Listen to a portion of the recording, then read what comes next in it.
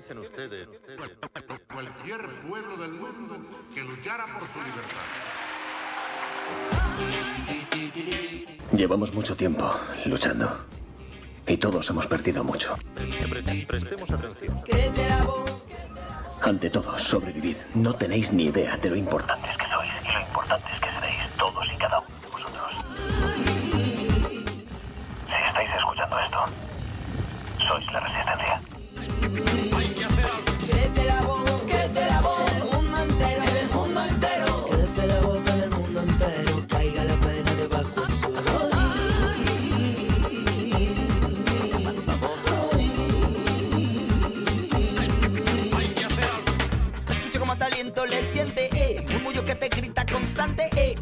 Babán, pinceladas de tinta hablada que teñirán mundos de grises.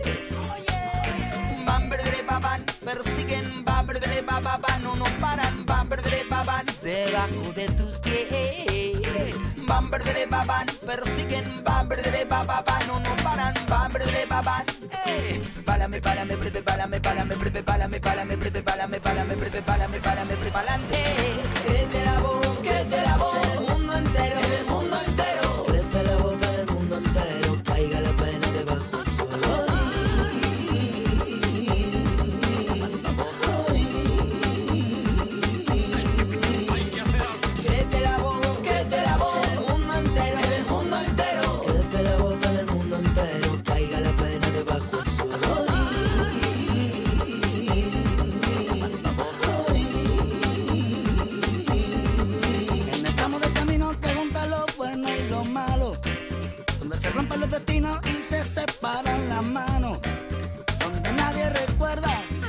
fuimos hermanos. Por eso yo canto hoy, mi mal espanto y voy.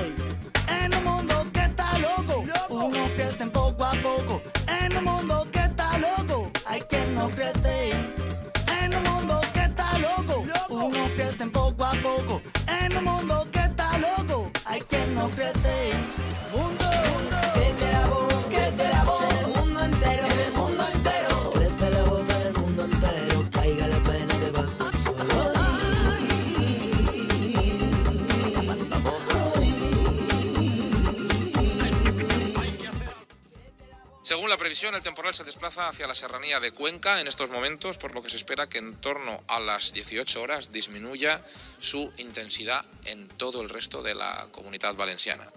Y quiero destacar y quiero eh, agradecer la máxima coordinación de todos los servicios de emergencias provinciales, locales, autonómicos y de la Administración General del Estado, con la que estamos en permanente eh, contacto y colaboración una vez más pues de nuevo deciros que nuestros efectivos pues son fantásticos ¿no? Eh, y por tanto conviene seguir las instrucciones que se nos den, las instrucciones que estamos trasladando durante el día de hoy y tengo que decir que dentro dentro de, de lo que está ocurriendo pues eh, las cosas pues van como eh, os acabo de contar afortunadamente sin ningún daño material sin alerta hidrológica y todos muy pendientes y todos muy eh, muy atentos a la profesionalidad de nuestros de nuestros efectivos ¿no? Ahí queda eso. Ahí queda eso. Para la posteridad. Buenos días a todas y a todos nuestras queridas oyentes. Hemos querido empezar con este audio Con- para que no la- se nos olvide. Lo dijimos que lo íbamos a hacer y lo hemos hecho. Y lo vamos a seguir haciendo.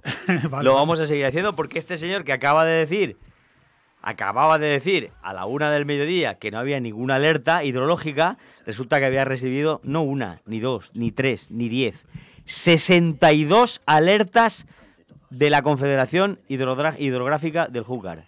Este señor, este criminal, este criminal, a mí no me duele decirlo, que vengan a por mí si quieren, este criminal, mientras todavía hay cuerpos flotando, cuerpos de gente desaparecida que aún no han encontrado, ¿eh? esta misma semana sí que ha cogido el teléfono rápido, como sí. tú decías, y ha adjudicado 3,9 millones de euros a dedo para reparar la presa dañada por la Dana a un constructor de la caja B del PP en la Gürtel. Perdona, no son 3 millones, ya son 40. 40 millones. Bueno, lo digo porque no solamente es la, la gente de la Gürtel del PP, también el que daba comisiones al cuñado de Rita Barberá. Exacto, y otro a ot- otro contrato a dedo a uno de los eh, primeros de primeros contratos de emergencia a la firma en la que trabajó su jefe de gabinete. Sí, señor. Claro, esto ya lo decíamos y se está cumpliendo. Está, está pasando todo según lo previsto. Sí, señor. ¿eh? Todo según lo previsto. La rapiña y el saqueo han comenzado. Como dice Gerardo TC, para eso sí que están rápidamente preparados. Exactamente. Para eso enseguida para- cogió el teléfono. para- Para comer ha cambiado cinco veces la versión de dónde estaba y con quién estaba y qué hacía. Para ahí, ahí no tenía ni cobertura ni estaba para nadie. ¿eh? Pero para esto, enseguida, ¿eh? He venido de, de comentar una- un vídeo que acabo de ver ahora, hablando de lo que es el Ventorro, el sitio que se supone que estaba comiendo. Dice que aquello es un sitio que aparte de restaurante tiene reservados y no tiene cobertura en sus habitaciones. Hay quien O sea- especula por ahí que estaba haciendo algo diferente a comer. Sí, señor, eso dicen también algunos. Lo, lo que es curioso también es una cosa, No- ¿no? Nos estamos riendo por no llorar, por ¿eh? no llorar, por porque no hay llorar. una cosa que es muy curiosa, ¿no?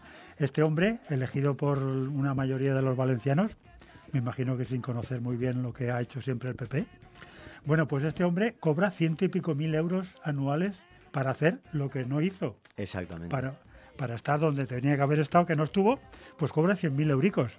O sea, lo digo porque... no sé, 100.000 euricos casi como, como, como que no quiere la cosa, ¿sabes? 10.000 euricos al mes.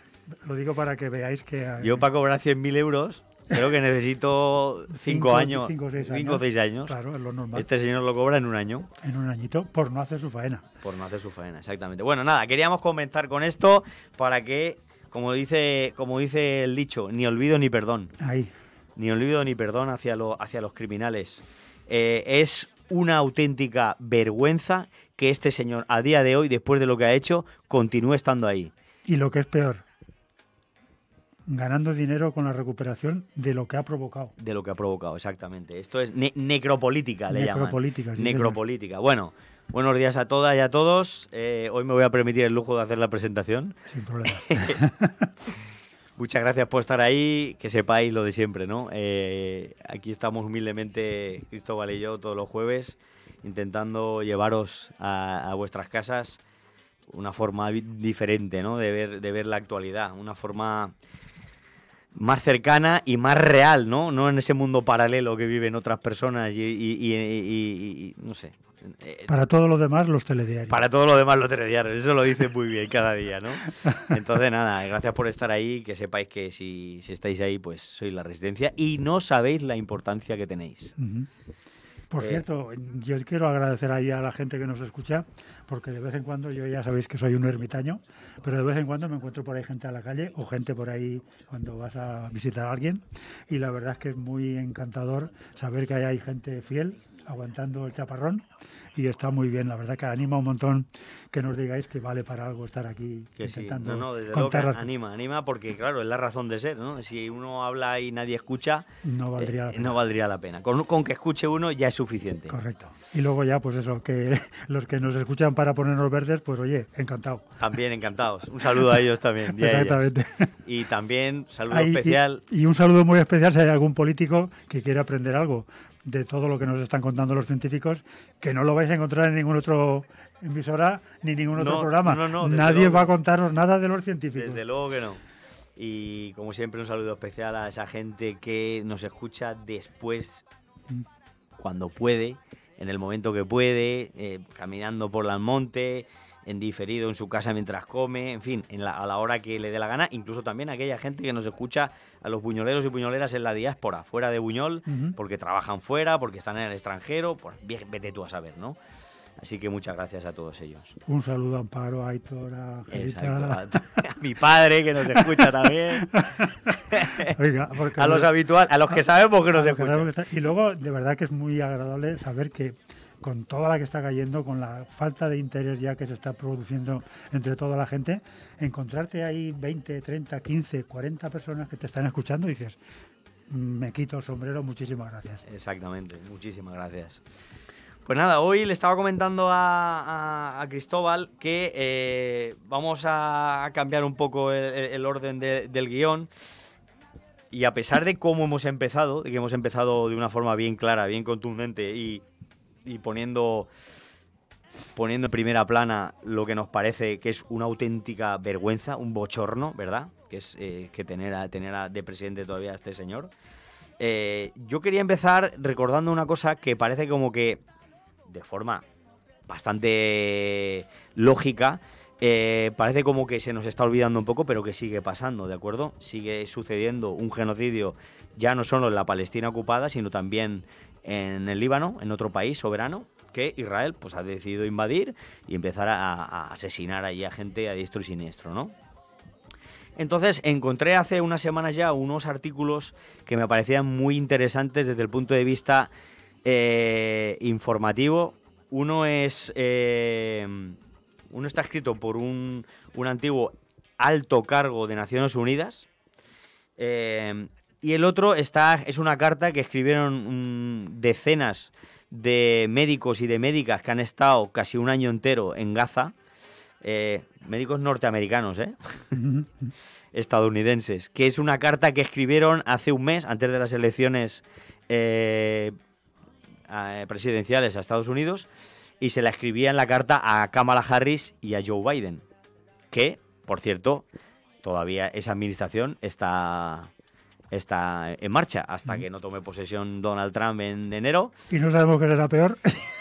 Sí, sí, lo luego lo vamos a comentar, porque había por ahí un había por ahí un tweet, no sé quién lo escribió, que decía, me voy a salir un poco por la tangente, pero decía que, fíjate, eh, apartaron a Joe Biden de la carrera presidencial porque decían que no estaba capacitado para presidente, pero sin embargo, siendo presidente, está a punto de provocar la Tercera Guerra Mundial con su decisión de, ¿no? de permitir que Ucrania dispare misiles eh, intercontinentales a, a Rusia. O sea, que para una cosa no es válido, pero para la otra sí. Sí, sí, para ¿Eh? hacer negocios va de categoría para los fabricantes de armas. En fin, pues nada, estos dos artículos me parece que como servicio público para nuestras queridas y nuestros queridos oyentes está muy bien para que no se nos olvide que aquí intentamos salir de esta catástrofe como podemos, aquí en Valencia, la provincia de Valencia, pero que fijaos lo que están viviendo allá abajo. Ant- Antes de que lo pongas, la, última noticia que leí ayer. Sí, Hay inundaciones también en Israel y Gaza, claro. por otra lluvia de estas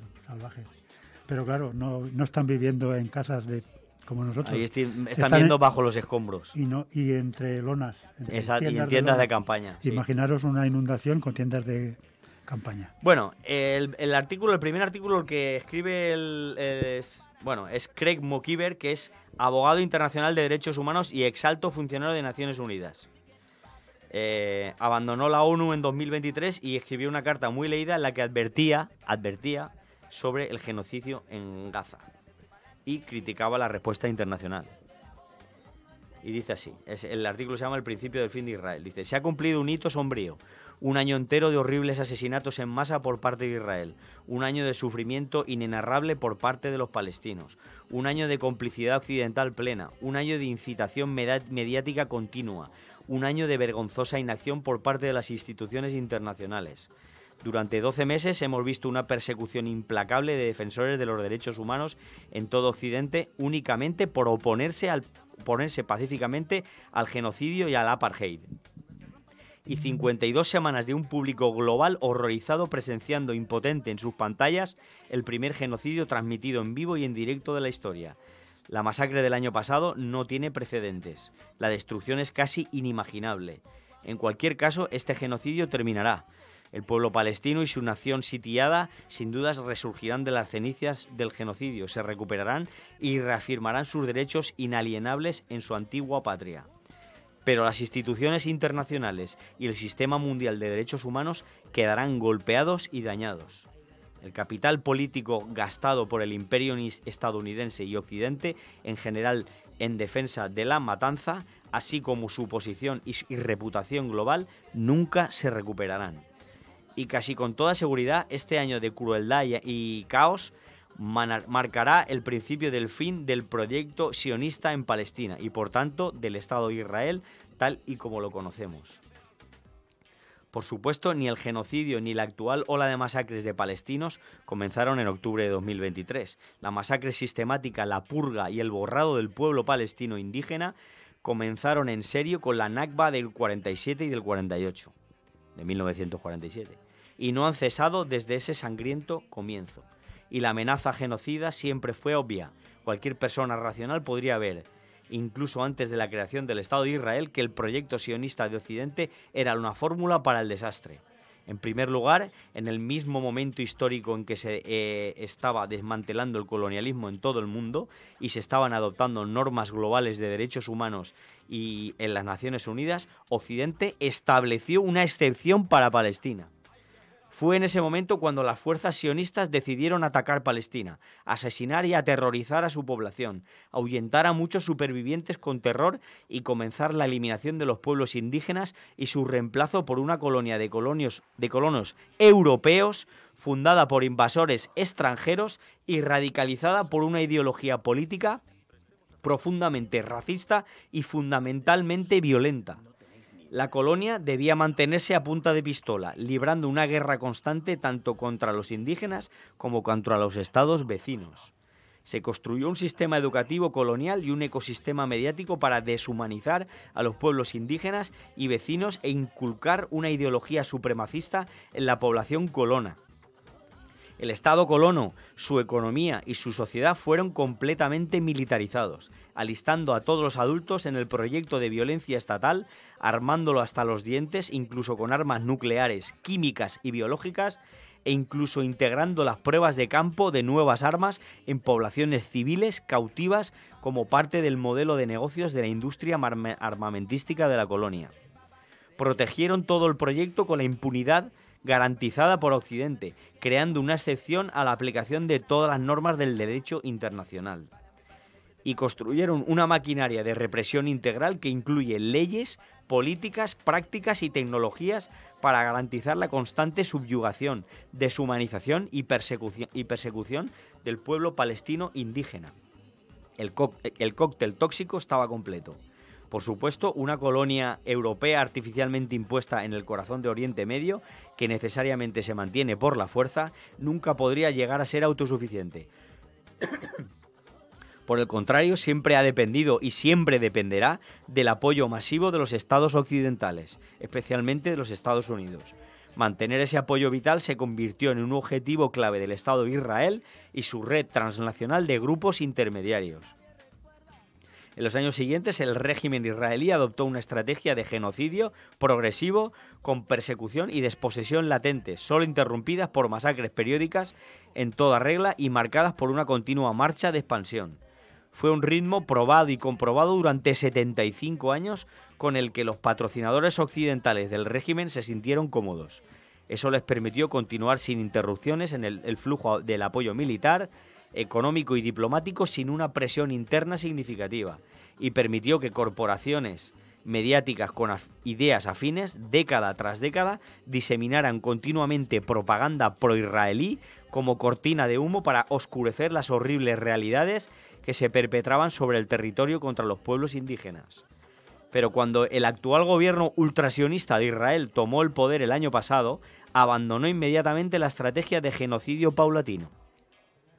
En su lugar pasó un genocidio acelerado que comenzó con oleadas de limpieza étnica en la Jerusalén ocupada y Cisjordania, apostando a que sus patrocinadores occidentales y sus políticos cooptados y medios de comunicación cómplices no se atreverían o que, o que no les iba a importar tomar las medidas necesarias para detenerlo, incluso cuando lanzó una matanza generalizada de civiles en Gaza.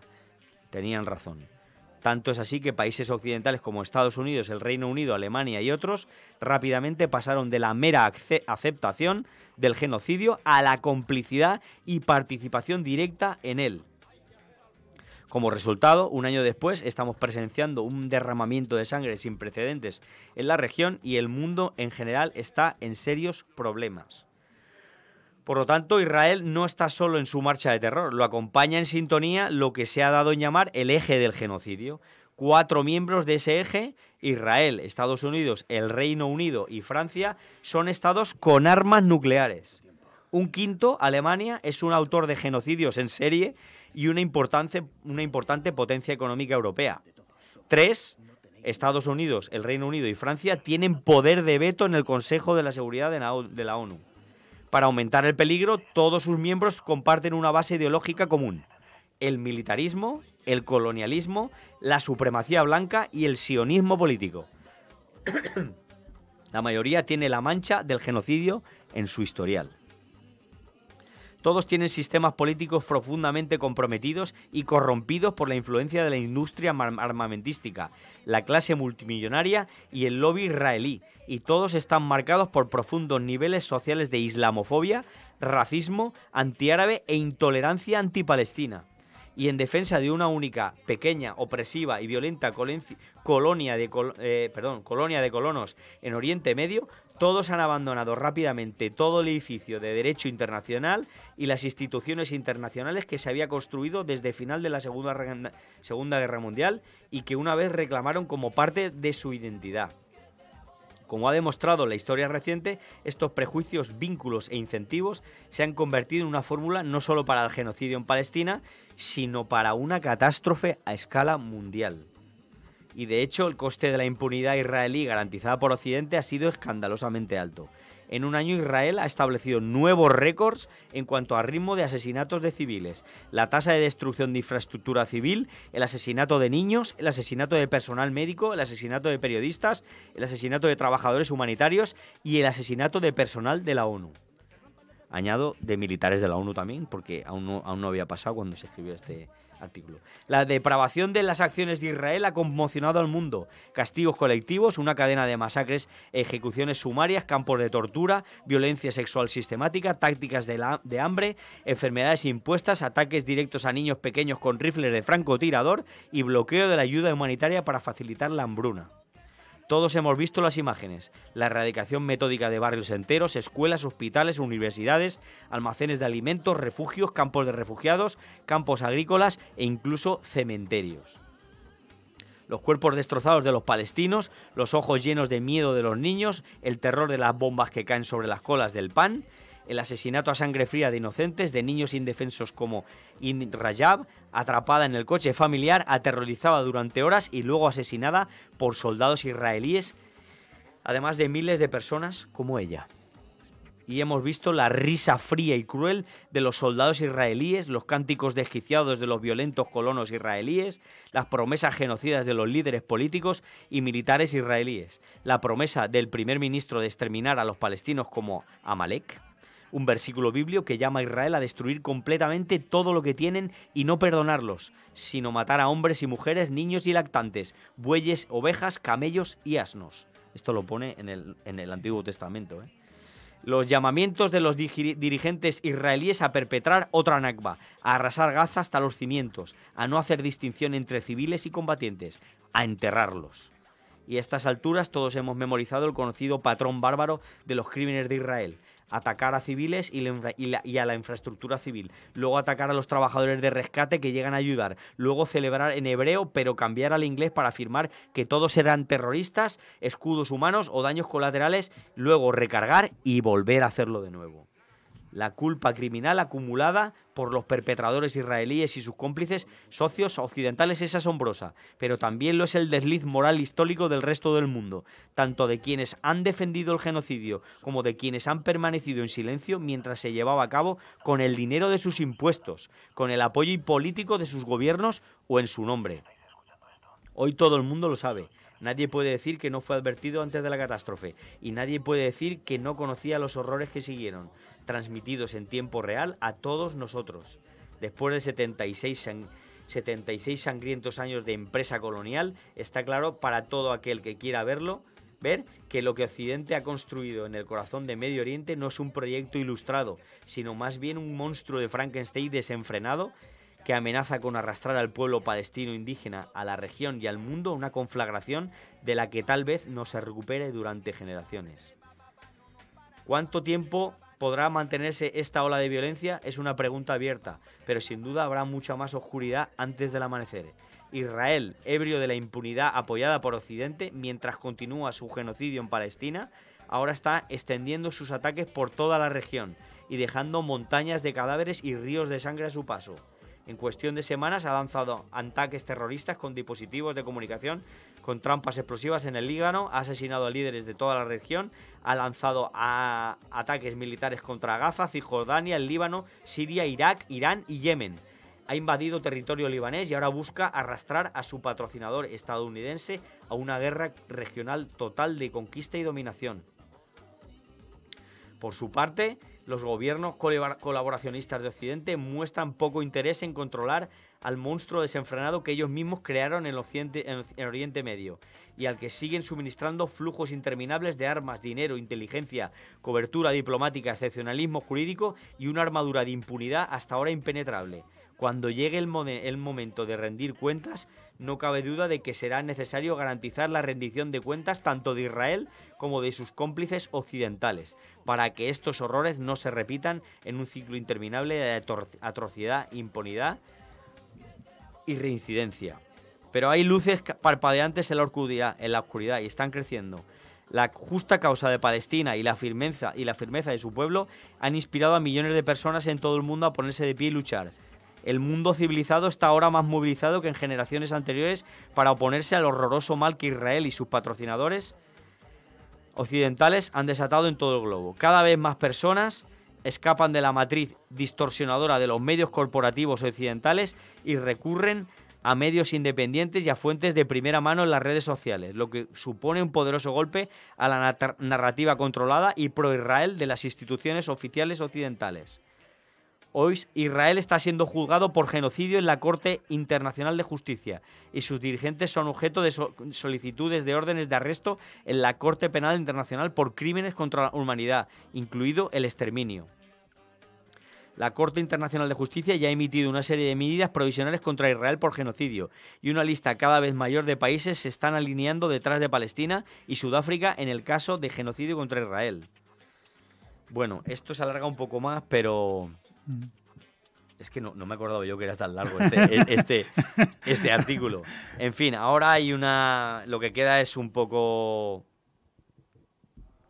que pare- parece querer ser optimista. Sí, Aquí a el- lo mejor puedo. El, milagro del optimismo. A- im- aquí a lo mejor puedo, puedo, podemos, tú y yo, eh, discrepar un poco, porque desde luego no, la cosa no invita demasiado al optimismo. Nada, eso. Pero como este es muy largo, vamos a dejar el otro para el próximo programa. El otro es desgarrador hasta el punto de que hay descripción de lo que está pasando ahí a nivel médico. Y esto quiero que no quiero no quiero cansar a, a nuestros oyentes y lo, lo leeré la semana que viene si te parece bien. No, así nos queda nos queda un poquito más de media hora para acabar el programa y no quiero copar todo el programa. Siempre hemos dicho lo mismo, ¿no? Que las cosas importantes hay que dedicarles el tiempo que haga falta, siempre que haga falta. O sea Sí, que- pero quiero decir que, que con este artículo y con el que leeré la semana que viene, lo que quería poner en valor es que aquí hay un montón de gente destrozada por esto que ha pasado, ¿verdad? Ahora, ahora entraremos más eh, en detalle de, de- de esto que ha pasado y un comentario que quería hacer al respecto. Pero quería ponerlo en mano porque si nos parece una barbaridad lo que está pasando aquí, lo que está, lo que está sufriendo las personas de, de- sobre todo del Horta Sud, parece que nuestro, nuestro pueblo vecino de Chiva está empezando a, a salir un poco de, de esa, de esa situación y, y está empezando a vivir un poquito de normalidad. Eh, algo que no pueden decir, por ejemplo, las poblaciones más afectadas del Horta Sud, ¿no? Paiporta, Picaña, Sedaví, Alfafar, todos estos pueblos van a necesitar muchísimo tiempo para salir de donde están, ¿no? Y, y, de hecho, mucha gente que vive allí está ya desesperada porque la ayuda, la ayuda gorda no llega. Aún hay un montón de coches apilados, un montón de barro, un montón de cosas que reconstruir ahí, ¿verdad? Y no ven la, no ven la salida. Leyendo esto, recordando lo que está pasando en Palestina y también ahora en el Líbano, lo que quiero es no quitarle ni mucho menos importancia a lo que están sufriendo la gente, eh, ya digo, en el Horta Sud, pero sí para que nos imaginemos lo que está pasando allí, porque allí no es que se hayan quedado sin casa, no es que hayan perdido algún familiar o algún amigo o haya, o haya habido, pues esto, como ha pasado aquí, doscientos y pico muertos. Allí hay decenas de miles de personas asesinadas, otras tantas que van a morir de hambre, otras tantas que van a morir de enfermedades, de virus que están reapareciendo y, y desde luego una población entera de más de un millón de habitantes que no va a poder volver a su casa. Y hay otra cosa. Aquí, las víctimas de la catástrofe tienen la esperanza de que puedan tener solución. Allí están abandonados por todo el mundo, Exactamente. por todo el mundo. De hecho, incluso el olvido. Y una cosa curiosa, bueno, curiosa, ya, no sé cómo utilizar las palabras ya. Pensemos que 200 personas es lo que tarda, o sea, dos días de matanzas de Israel son 200 personas. Y Exactamente. llevan 40, 50, 60, 70 años matándoles. O sea que imaginaros la situación. Eso es una cosa que también lo comentamos algunas veces por las mañanas, ¿no? Tenemos olvidado lo de Ucrania, tenemos olvidado lo de, Palestina y claro, los acontecimientos diarios nos hacen que nos dediquemos a unas cosas que luego cuando las comparas con esto, por ejemplo, te das cuenta de que siendo una catástrofe enorme, es la milésima parte de lo que está pasando, por ejemplo, en Palestina, ¿no? Y luego que, que, por ejemplo, aquí, esto lo hemos dicho, o sea, la explosión de solidaridad Mm. que se ha producido aquí, ¿no? Que, que, que además no se ha producido más porque las autoridades no nos han dejado, Sí, ¿vale? Porque cuando llega el Estado y las autoridades dicen, no, no, no, oye, vosotros no, no, vaya, no vayáis a daros cuenta de que mu- para muchas cosas sois autosuficientes Ujú. y no nos necesitáis, ¿eh? sí. Pero con todo y con eso, yo lo he vivido en Chiva, pero también lo hemos visto en las imágenes en Horta Sud, de las miles de personas que cada día, sobre todo jóvenes, que se han desplazado para ayudar en labores de limpieza, de desescombro y demás. Los palestinos no han tenido esa, No, no, ni lo tienen ni le dejan. esa ayuda, ni las dejan, Ni porque dejan. cortan la ayuda humanitaria, matan a los trabajadores humanitarios, Impiden que los niños se operen fuera. Exactamente. Imaginaos todo aquello, todo lo que, eh, o parte de lo que hemos vivido aquí en Valencia, multiplicado por mil sin ayuda. cada día. Cada día, desde hace más de un año. Eso para que nos hagamos una idea aproximada. Claro, porque eh, eh, en- yo creo que no- la gente que nos escucha nos sigue escuchando porque aquí tenemos una forma de pensar y una forma de, de explicar las cosas con la que la gente empatiza, ¿verdad? Entonces, no queremos dejar de decir estas, esta- esta- estas barbaridades, no queremos que queden en el olvido, porque si no somos capaces, primero, de tener compasión de lo que está pasando allí y después empatía, que es la hija de la compasión, de ponernos en el, en el lugar, aunque sea por unos segundos, o siquiera imaginarlo, lo que está viviendo la población indígena palestina allí, eh, pues jamás podremos eh, mm, pensar en un futuro mejor. Y, y de, y de hecho jamás hubiera sido posible esa explosión de solidaridad si no fuéramos capaces de ponernos en el lugar de los que más están sufriendo. ¿no? Sí, señor. Y uno de los entrenamientos es pensar en los demás. Porque si solamente piensas en tu casa, en tu persona, así no hay solidaridad, ni hay apoyo mutuo, ni hay futuro, ¿eh? Exactamente. Lo digo porque tengamos que en cuenta eso, ¿no? Que estamos hablando de Palestina, pero mañana podríamos ser nosotros. O Exacto. sea que vamos a empatizar y a practicar la, la- la solidaridad. Bueno, pues nada, sigamos con el programa. Sigamos con el programa. Más o menos previsto. ¿Empezamos por, la, por, por el tema de la madre tierra o seguimos con el mazón? Donde tú quieras. No sé Ah, lo- mira, había un. eh, Esto que te lo he comentado eh, off the record. Que, que el, el domingo. Digo el domingo. El lunes en la. En la tertulia. Mm. que os estuve escuchando un rato. eh, Iba en el coche y me puse a la radio y tal. Y justo cuando estaba escuchando, pues estabais hablando de. Pues esto, de la catástrofe de La Habana y demás. Y escuché a Luchi que, que bueno, hizo, hizo un, hizo un comentario, ¿no? Eh, que ella no se lo podía esperar jamás que esto hubiera pasado. ¿Esto? Sí, sí. Y claro, yo iba a llamar, lo que pasa es que ya se hizo muy tarde, estaba acabando el programa, entonces pues no, al final no pude entrar, ¿no? Pero claro, yo, yo siento discrepar en algunas cosas, pues muchas cosas puedo estar de acuerdo con ella, pero y no es una no es ninguna crítica, es simplemente que esto estaba más que previsto que podía pasar. No solo desde el punto de vista medioambiental, que estaba cantado que iba a pasar esto, tarde o temprano íbamos a tener una una una Una mega borrasca de este tipo, un mega temporal, ¿vale? Llámale Dana, llámale como, como, ¿vale? Pero íbamos a tener esto porque el año pasado hubo, hubo en Grecia, hubo en Bélgica, hubo en Alemania inundaciones de este tipo, brutales. En Libia, en Libia, cerca del desierto, del desierto, hubo una tormenta enorme. Fíjate que aún, ahí aún están menos preparados que aquí. Y allí hubo más de 30.000 muertos, no 200. Sí, sí, una- Más de 30.000 Una muertos y desaparecidos. Arrastrados por el fango, por... O sea, en Libia. Mm. El año pasado. Verano pasado. Este no. El pasado. Del año pasado. Y este año, antes de venir aquí, vino Polonia. Europa Central O sea, estuvo llena de agua. hasta- Estaba más que claro que esto iba a pasar. Y, y espera, como dice el Antonio Turiel, esto es un cañón que te va cambiando de dirección y te, te El toca Mediterráneo es Arabia Saudí. una metralleta, dicen. Sí, sí. Es como una sí, Arabia Saudí lleva inundaciones. En Israel inundaciones. En Sudamérica inundaciones. En, ahora en América, en el suroeste, en el noroeste, un tifón, o sea, un huracán de estos monstruoso está haciendo una barbaridad por allí.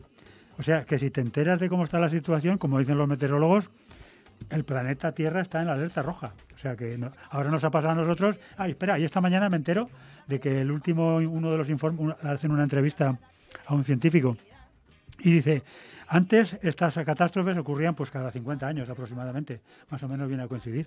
Dice, ahora con el calentamiento que estamos sufriendo, se esperan uno cada cinco años. Y me temo que se va a quedar corto, sí. Porque visto lo visto. Lo digo es porque que es que el- no, es que no es que lo tuviéramos que esperar, es que nos lo están avisando de un tiempo a esta parte. Nos lo está pensando y no estamos haciendo nada. Nada. Esto desde el punto de vista medioambiental, que ya digo, es que la combinación es explosiva. Es que el mar Mediterráneo, que está muy cerradito, eh, tiene una capacidad de calentarse superior a cualquier océano, porque está muy cerrado. Es casi como un lago súper gigante, ¿verdad? Entonces, el lago Mediterráneo, digo el lago, el mar Mediterráneo está dos grados por encima de lo normal. Dos grados.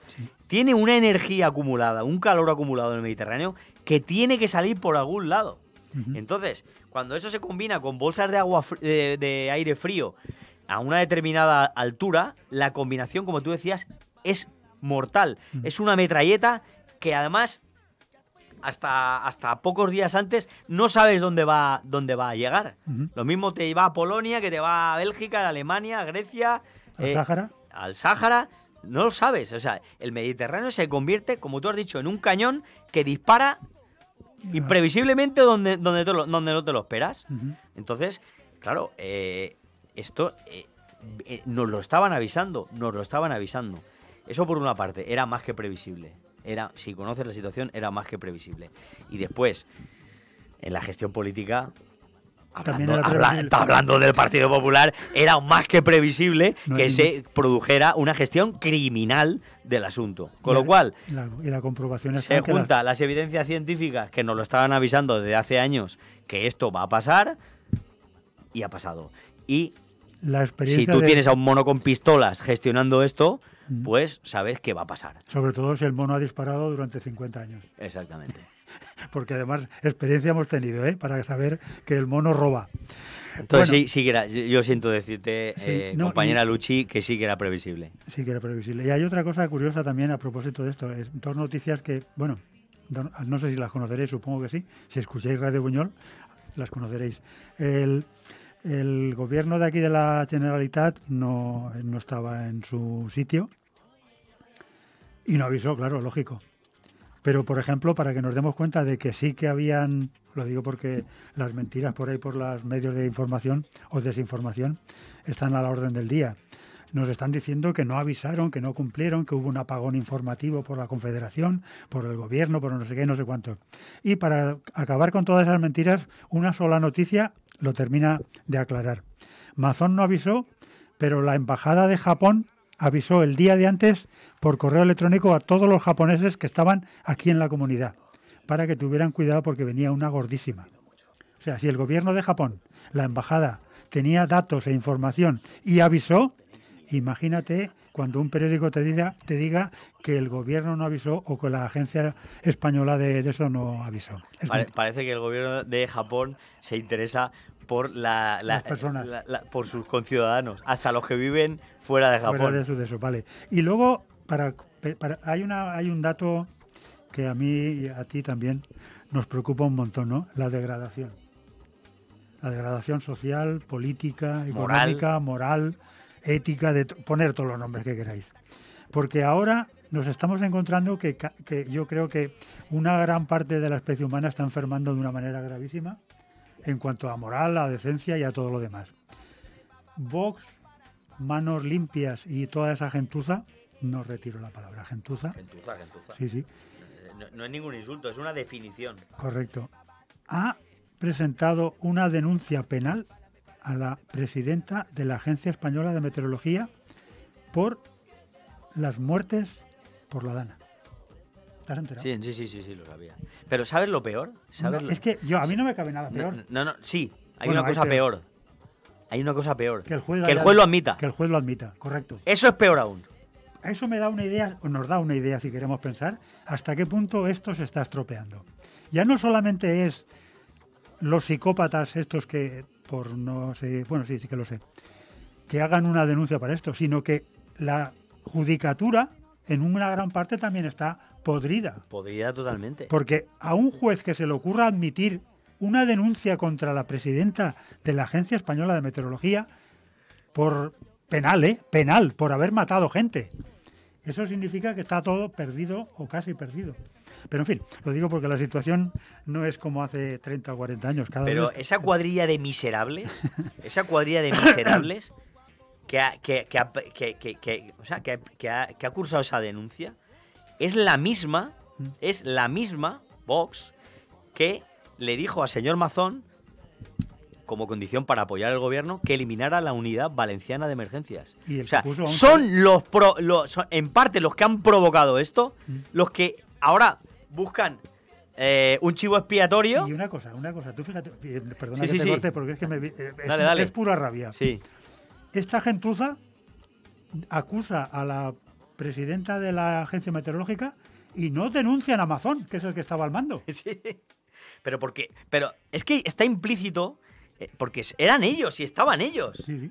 Estaban ellos ahí. Ahora vamos a contar una noticia. que- a ver si me acuerdo de memoria. Es que es alucinante. O sea, hasta el año pasado, hasta el año pasado, en el mes de septiembre, se convocaba una reunión donde se convocaba a Protección Civil y todas las, eh, todas las instituciones capaces de hacer un planning ante las posibles lluvias que vienen en, eh, que suelen venir en otoño, borrascas fuertes y demás, un plan de emergencia donde esa, en esa reunión se planificaba la temporada y lo que pudiera pasar.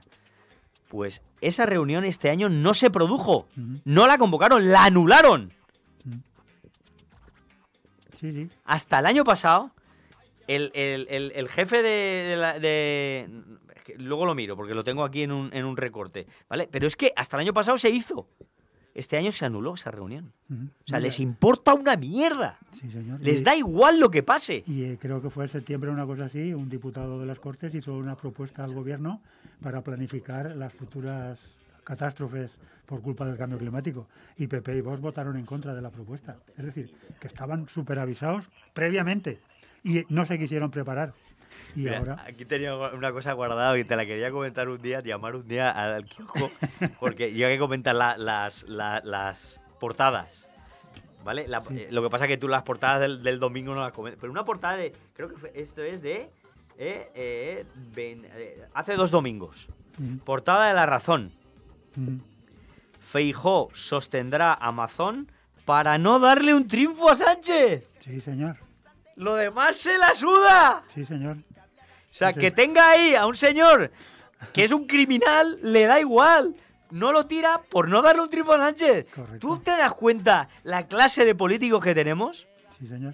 Yo, yo, yo intento... Eso es portada de un periódico, ¿eh? Sí, sí, sí. Bueno, de lo que sea. Eso, O- Bueno, sí. Llamarle periódico. De lo ¿eh? que sea, sí. Hay un una co- panfleto coprofágico, que digo yo. Mira, en el, hay una cosa que el día 9 de noviembre apareció una noticia, lo digo por el tema de los periódicos y las agencias y empresas de, de información. Apunt, cuando eh, estaba realizándose la manifestación esta en Valencia contra la gestión de Amazon de la catástrofe, que no era moco de pavo, ¿eh? era allí medio millón de personas, según algunos y según otros, pues muy poquita gente, ¿no? Era imposible que dijeran poquita gente porque hay que ver las imágenes, ¿no? Bueno, pues mientras estaba ocurriendo eso, ahora que comentas esto de las portadas, Apunt, ¿sabéis lo que estaba haciendo, retransmitiendo mientras la manifestación estaba llenando Valencia? Una partida de pilota. Ah. A lo Co- importante. Cosas importantes. A lo importante. Lo digo porque es, es más que nada para quitaros la ilusión de que los medios en- no están controlados, están controladísimos. ¿eh? Incluso Apunt, que más o menos hizo su trabajo informando bastante bien de la catástrofe. Mira, que, mira qué noticia. Aquí Dios los cría y ellos se juntan. Ayuso quiere adjudicar viviendas públicas sobre un arroyo prese- pese a las lecciones de la Dana en Valencia. Sí, señora, el arroyo de la dehesa de San Sebastián de los Reyes es el epicentro. Eh, ahí quieren poner, claro que sí. sí, señor. Ah, ahí. Gestionando, ¿qué dicen Gestiona- ellos? gestionando. Gestionando. Para información de los electores y votantes, varios. Es muy importante estar bien informado porque si no estás bien informado, pues igual votas a Amazon y luego pasa lo que pasa. En la comunidad de Galicia, la Junta está haciendo modificaciones de la normativa para que puedan construir en zonas inundables. En Murcia, el conseller de Vivienda dice que no, que no van a tener en cuenta las zonas inundables porque si no, ¿cómo van a construir? Y el mismo día de la catástrofe, el mismo día, el gobierno de Amazon autorizó la construcción de viviendas a A 200, 200 metros, sí, sí, sí. Lo redujo de 500 a 200, sí, sí. Eh, lo día. digo porque es importante estar informado, aunque hay alguno que diga yo no quiero saber nada de lo que pasa. Que venga el meteorito ya, por favor. bueno, no, que el meteorito somos nosotros. Sí, está claro. Mira, un, algo de, algo- un poquito de risa para distendir un poco esto. Mira qué tuit. Dice, qué vueltas da la vida. Con 12 años andabas ahí suspendiendo matemáticas con la cabeza gacha porque no sabías ni resolver un polinomio. Y mírate con 35, todo empoderado discutiendo en Twitter con un doctor en física que se cree lo del cambio climático, el muy subnormal. Ahí, así va todo, así va todo. ¿Has visto qué genialidad? Sí, señor. Por supuesto, para el que no lo, eh, no lo haya, es, es pura ironía, ¿eh? Cu- Cuidado, cuidado que, que estamos, que estamos hablando con toda la ironía del mundo. Exactamente, porque hay alguno que ha, la ha perdido ya la ironía. Oye, una cosa que a propósito del tema de la política, el presidente este que tenemos eh, ha elegido a un militar para que haga la reconstrucción. Y el militar se le ha ocurrido la brillante idea de decir, la política no va a intervenir en la reconstrucción de... No, que va. Como dice Gerardo TC, vamos a ver una cosa. El encargado de la reconstrucción, cuando tenga que elegir reconstruir un colegio o un polígono industrial, estará haciendo política. Claro, todo. eh, Todo, poli- es política. Todo es política. Lo digo porque, eh, que un- ah, como decía el, el Gerardo TC, Franco no hacía política. Dice, hacer como yo, no hagáis, no, no hagáis política, decía Franco. sí, hacer como yo. Pues Matar a 100.000. Pero no hagáis política. Pero no hagáis política. Bueno, pues este militar dice lo mismo. Dice, yo voy a hacer la reconstrucción, que es mi objetivo, y no voy a hacer política. Pues lo va a tener crudo. Porque si tiene que hacer la reconstrucción de zonas inundables, tendrá que hacer política. O reconstruye o no, porque claro, ¿para qué va a reconstruir si no vale después para nada, no? Tendrá que hacer política todo. Para, elegir los objetivos a reconstruir, primero una- un colegio antes que un supermercado, ¿no? Digo yo, no lo sé. Eso es política. Vuelvo a mi libro. Venga, va. Vuelvo a mi libro. Para los que todavía. eh, acabamos de bromear con un tuit de forma irónica por toda esa gente que todavía se cree que, que el caos climático este es producto de la geo- geoingeniería o de los Illuminati. ¿Vale? Esto son datos. Yo voy con datos, no voy con especulaciones. No solo pasa aquí, ¿eh? No solo, eh, que no solo está pasando aquí, No, no, no, hemos no. dicho todos los casos que ha habido, pero fíjate qué datos. La India, la. India experimentó condiciones climáticas extremas el 93% de los días durante los primeros nueve meses de 2024. 255 días de 274. 3.238 muertos. 3,2 millones de hectáreas de cultivos destruidas. Y 235.862 viviendas dañadas en la India. Solo. Igual para esta gente es que la India está en otro planeta. Sí, sí, no pasa nada. Es como que, ¿no? ¿verdad? O sea, que quiero decir que no tú y yo lo venimos a, es que lo venimos a- avisando. Va a pasar y va a pasar aquí y al final te lo grabarás tú con el móvil. Pues, Correcto, eso hoy- ahora lo hemos grabado. Sí. Ahora lo hemos visto, lo hemos Sí, grabado. señor. Pero por si acaso, ya que estás dando datos, y ahí esto nos, da, nos mete en el apartado de la madre tierra. Eh, la contaminación en Nueva Delhi, también en la India, la contaminación en la ciudad, equivale a fumar más de 20 cigarrillos al día. ¿Vale? Eh, la temperatura ya está superada el grado y medio desde hace 15 meses. Llevamos 15 meses por encima, ¿no?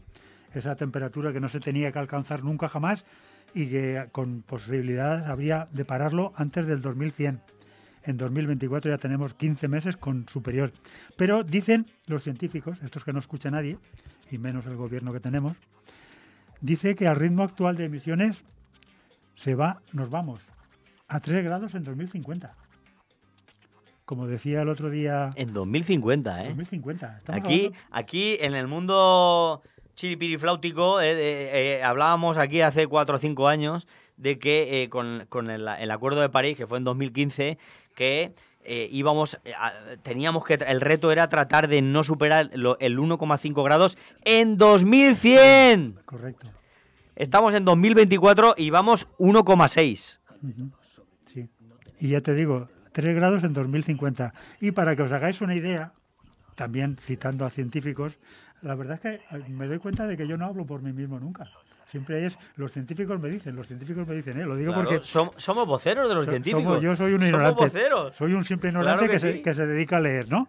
Y el otro día aparecía, en respuesta a la, a la consellera de este gobierno que tenemos aquí en Valencia, que era de la patronal hostelera, era consellera de no sé qué, por cierto, se encargaba de las emergencias, bueno, pues la han destituido. Y decía el año pasado, en una cumbre de estas de hoteleros y empresas turísticas, y suyo, tal, de lo suyo. suyo, que era de, lo- es de la patronal, bueno, pues decía que con el cambio climático íbamos a tener unos magníficos veranos porque la temporada estival se ampliaba. Vale. Y entonces un científico contestaba a esta mujer. Dice, no sé si era Antonio Turiel, fíjate, decía, esta gente está absolutamente loca. Con 4 grados de temperatura, España tendrá la misma población que el Sáhara y el mismo turismo. O sea, son datos, ¿eh? Que sí, que sí. Bueno, pues con 3 grados, aquellos que estén pensando que en Benidorm van a estar forrados porque están 12 meses de veraneo, se equivocan. En Benidorm será el desierto o el Sáhara, igual que aquí De en hecho, Valencia. de hecho eh, debido a las, a las temperaturas extremas en verano que estamos viviendo ya en España, Mm. hay muchos turistas que eligen otros, en otros Correcto, lugares. esa es la o sea, que, que de- Las primeras consecuencias. Esa es lo primero que va a pasar, que está pasando. Fíjate, los que los que los, los patriotas, los que se preocupan por la gente, eh, fíjate, qué noticia. Patriotas y que se patriotas, Sí, mira, pueden ser. Badenas, Badenas pasa de la Dan. ¿Sabes quién es Badenas? No. El teniente alcalde de Vox en Valencia, en el ayuntamiento de Valencia. Mm. Se fue de fin de semana y faltó a las reuniones de trabajo. Mm. ¿Eh? Este señor, el viernes 8 de noviembre, dijo, me voy de... Ah, Hay una cosa muy curiosa, la desbandada de gente que estaba, que si en Cuenca, que si en Benidorm, que es, ah no, había uno, uno de aquí, uno de los de Vox, no sé quién era, que se había ido de fin de semana con su mujer, que también era concejal de Vox en Valencia, se había ido el día, la- el, fin de semana siguiente a la catástrofe de veraneo a Morella. Aquí, para la gloria. Y por supuesto, la reunión esta para la reunión del gobierno se la saltan tranquilamente. Ah, eso sí, cuando llegue la hora de las asignaciones para los negocios de reconstrucción, eso ya ahí sí que estarán. Supongo yo. Para que veas que no hay ningún, ningún sitio donde agarrarse. El Partido Popular Europeo Mm. cierra definitivamente la investigación de la Unión Europea de las 7.291 muertes barra asesinatos en residencias durante el COVID. Carpetazo. Correcto. Úrsula, Úrsula von der Nazi, carpetazo. ¿Eh? Muy bien. ¿Qué, qué? ¿Qué me cuentas? Ay, más cosillas. Eh, Por lo que hablamos, el señor Mazón está adjudicando ya contratos a dedo, pero Paiporta lanza un grito de auxilio.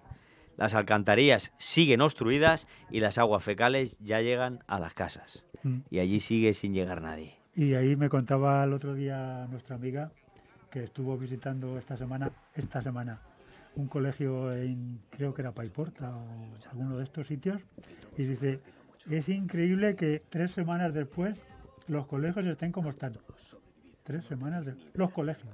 Sí, sí, sí. Bueno, los colegios Es que- y las calles. Pero es que, pero Cristóbal, si es que les importa una mierda. El- lo único que les importa es arreglar las carreteras principales para que el capital y la reproducción del capital se siga produciendo. Los amigos que hay constructores. Las escuelas, los hospitales, los centros de salud, lo- los comercios pequeños, les importan tres cojones. Así es. Lo han dejado claro. Sí, sí. Además, Lo han es- dejado claro. Es una tónica general, ¿te acuerdas? Con, con- que cada vez que hay una catástrofe de estas, la- el poder, el poder político y económico, demuestra una y otra vez que la vida de los humanos les importa un pimiento. Siempre es el negocio. Y ahora lo estamos viendo clarísimo, ¿eh? Bueno, seguimos con más datos y curioseamos cosas. Sí, dale. Cuatro, trifones, cuatro tifones en 10 días en Filipinas. Nunca jamás visto en la historia. 17 de noviembre. Pero nada. esto es lo normal, ¿eh? lo normal de época del año, ¿no? de, de todos los años, claro. Eh, bueno, y, eh, mira, mira, mira qué dato. Dime, dime. Mira qué curioso. Aquí enlazamos dos cosas. Venga.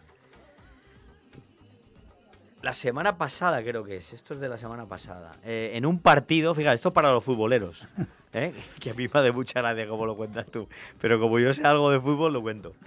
Para los futboleros. En un partido de, de Europa League, que es una liga europea, que manda cojones, esto ya hablaríamos otro día, aunque no, no sé si vale la pena hablarlo. ¿Qué cojones pinta un equipo israelí en un equipo euro- en una liga europea? Sí, sí. Pero estaba jugando el Ajax de de Ámsterdam contra el Maccabi, un equipo israelí. La semana después de la Dana en Valencia con 225 muertos. Pues eh, el equipo holandés que jugaba en casa, por supuesto, propuso un minuto de silencio por las víctimas, ¿no? Pues los ultras del Maccabi rompieron el minuto de silencio. Esa gentuza demuestra lo que es allá donde va Sí, señor. Por supuesto. matando palestinos y cuando sale fuera también le importamos una mierda a los demás. Correcto. Eso suele ocurrir con los egoístas.